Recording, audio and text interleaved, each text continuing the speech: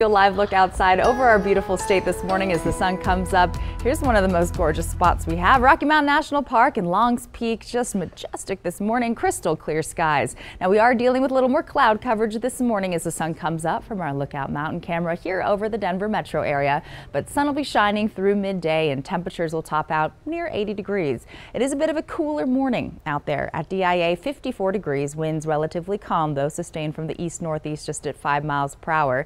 Very Quiet conditions across the state. We had a cool front roll through yesterday. It brought some very gusty winds and cloud coverage, but today that's exiting the state and we'll see some warmer temperatures settling in. Right now, though, we're still in the 50s from Firestone to Erie down through Castle Rock. Commerce City right now only at 51 degrees and only in the upper 30s over portions of our northern Front Range mountain towns. You can see from our metro area planner partly cloudy skies over the next couple of hours, but by 9 a.m. mostly sunny and 63, 11 o'clock 68 degrees degrees and daytime highs still about 5 to 10 degrees below average for this time in August. Typically, Denver averages a high of 88 this time of the year. We're in the high 70s, Englewood through the Montclair neighborhood up into Congress Park, but further west into the mountains, it's going to be another pretty warm day. It'll actually be warmer places like Steamboat Springs, Eagle and Vail than it will be Denver north and east for this afternoon and hot out west in Grand Junction at 96 degrees. We will see the chance for a few scattered thunderstorms and showers mainly over the far southwestern corner of Colorado Colorado.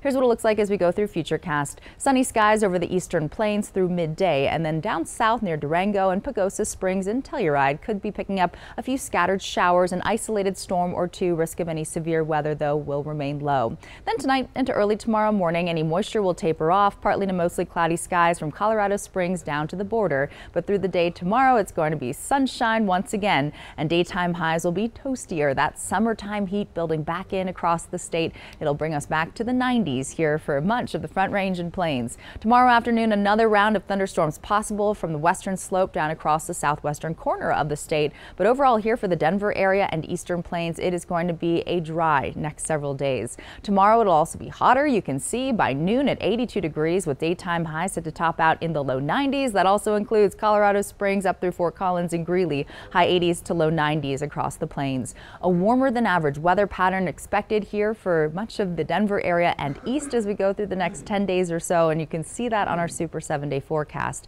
Low to mid 90s through the end of the week and upper 80s with mostly sunny skies and dry conditions expected this weekend.